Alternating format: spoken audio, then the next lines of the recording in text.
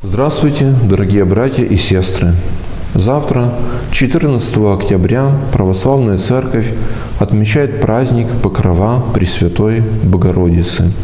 В этот же день в нашем государстве празднуется праздник День Матери в честь всех женщин, которые несли или несут свое материнское служение – свой материнский крест и совершает свой материнский подвиг.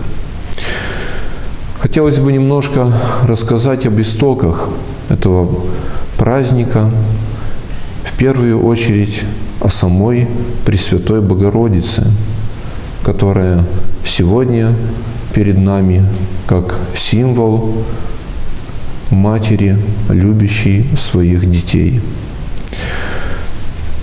Дева Мария стала матерью в очень скорбных обстоятельствах.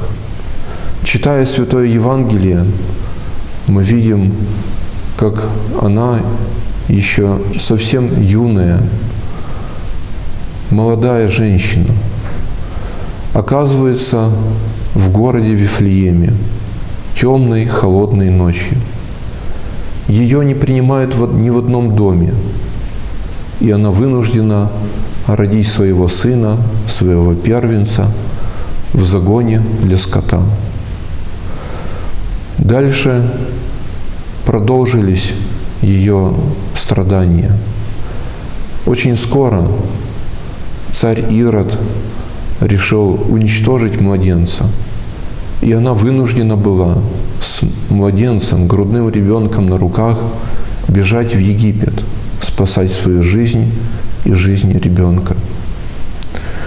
Еще перед этим, когда Иисусу Христу исполнилось 40 дней от рождения, она с Иосифом была в Иерусалимском храме для того, чтобы там принести жертву благодарности за рождение сына.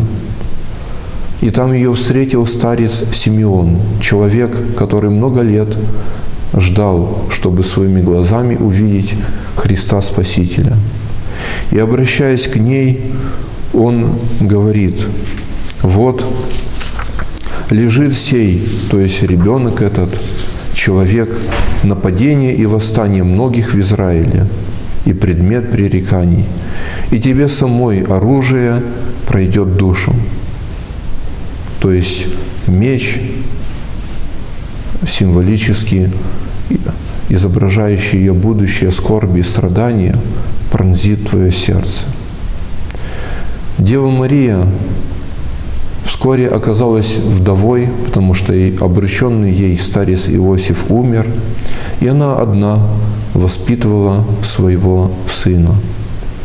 Это было непросто, но она очень любила его, очень часто была рядом с Ним, вместе с Ним, близко к Нему. Одно из первых чудес, которое совершил Иисус Христос, произошло на браке в Кане Галилейской. Оно произошло по ее просьбе. Она попросила, чтобы он сделал подарок для бедных людей, которые поженились в этот день. И он сделал так, что вода Простая вода стала прекрасным вином. А произошло это, потому что она сказала слова, которые мы можем назвать самой главной и единственной заповедью Пресвятой Богородицы. Она сказала, что, вы не, что Он скажет вам, то и сделайте. Эти слова можно сказать, обращены всем, ко всем к нам. Что говорит нам Иисус Христос, так и поступайте, говорит Божия Матерь. Жизнь ее сына закончилась трагически на кресте, и она была рядом. Она видела, как он мучается и как он умирает.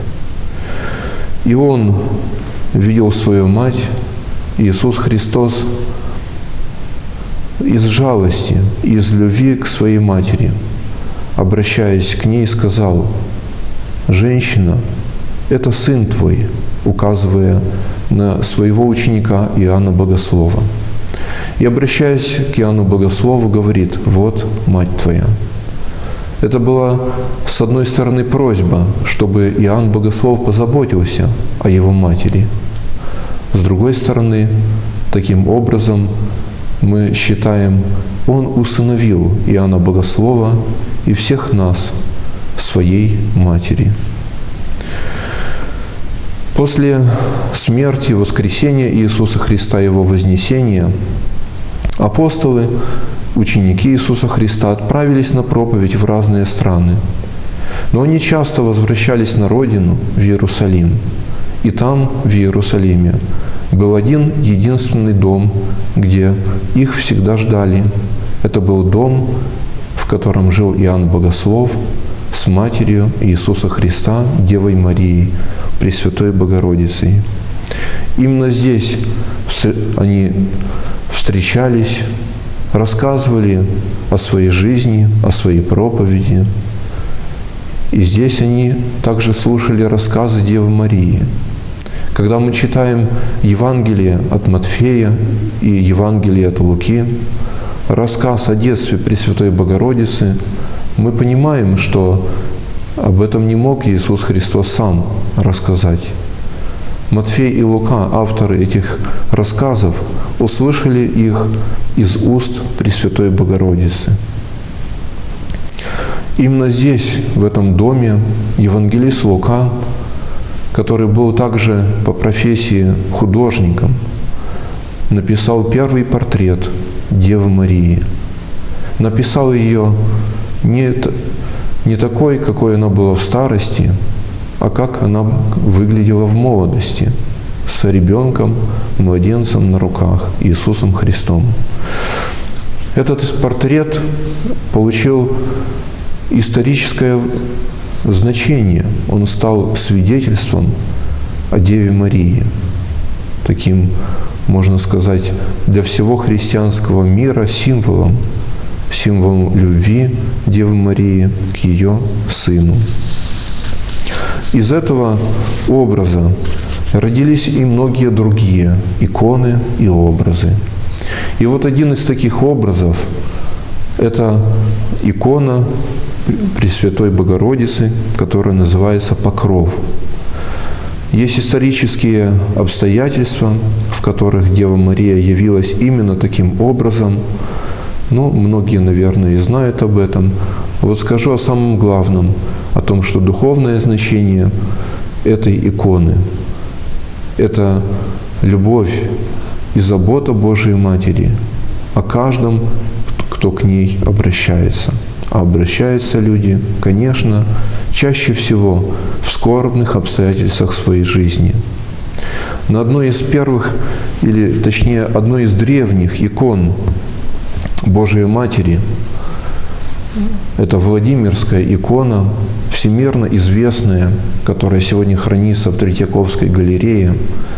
Мы также видим лицо, лик и глаза Божией Матери, пронизанные глубокой печалью, состраданием, милосердием по отношению ко всем молящимся. Однако мы понимаем, что этот отпечаток печали связан и с ее жизнью, и с ее скорбью о ее единственном сыне. Так появлялись многочисленные иконы Божьей Матери, скорбные обстоятельства, беды, печали, слезы. Люди молились, Божья Матерь помогала, и иконы эти запоминались приходили новые и новые люди с молитвой к этим иконам. Так, одной из самых знаменитых и вместе с тем древних икон Беларуси стала икона Божьей Матери Жировицкая, которая явилась в 1470 году. В следующем году мы будем отмечать 550 лет со дня ее явления. Она явилась в местечке Жировичи на груши простым пастушкам. Затем повторно, через некоторое время, явилась Божья Матерь сама на камне, от, отпечаток своей ноги. Но дальнейшая история – это опять же история людей, которые со своими печалями приходили к Божией Матери. В, нашей, в нашем краю, в Беларуси, есть много и других чудотворных икон. Это и Минская икона, которая чудным образом явилась на берегу реки Свислочи, там, где сегодня находится наша столица. И до сих пор перед этой иконой молятся жители огромного мегаполиса, а Божья Матерь словно хозяйка этого города, устроительница и хранительница его. Есть и многочисленные другие святыни. А в наше время тоже появляются новые чудотворные иконы. Например, стала недавно широко известна икона Божьей Матери Всецарица.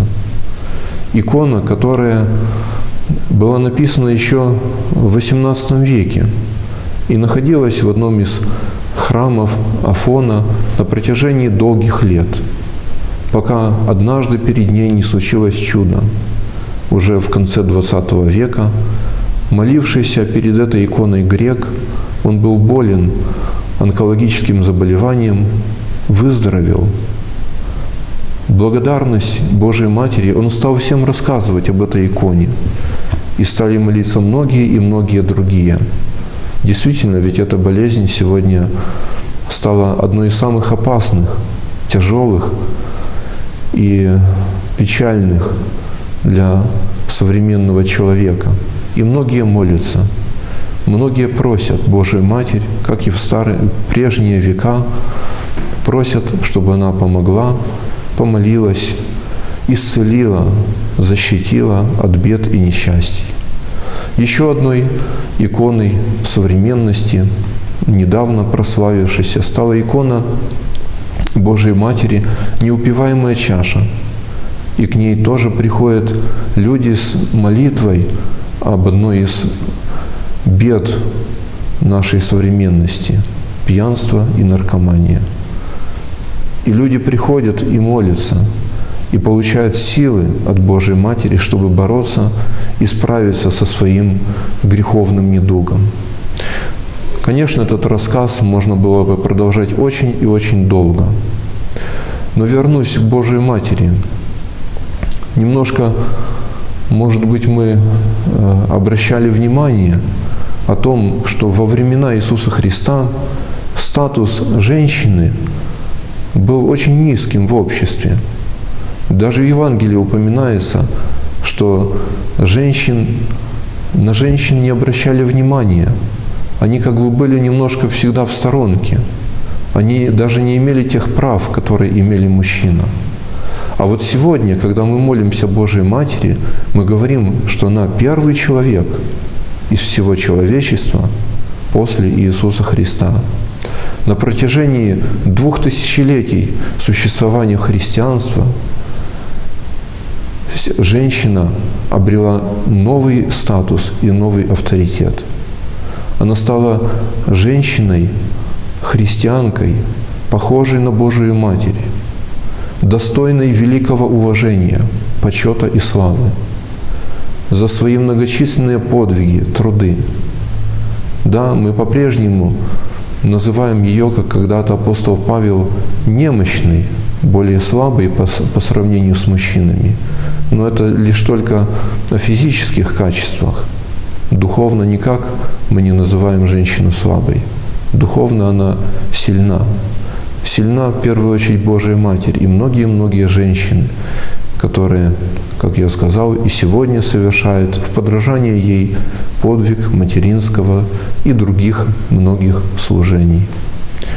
И сегодня хотелось бы сказать в адрес женщин, матерей самые наилучшие пожелания, чтобы Господь хранил вас в чистоте, в любви, милосердии, чтобы ваши дети и ваши семьи уважали вас, чтобы вы пользовались заслуженным авторитетом, чтобы вы могли жить сегодня в счастье и в радости от того, что вы по-прежнему занимаете великое место в жизни человечества. Через вас Господь дарит жизнь новым и новым людям.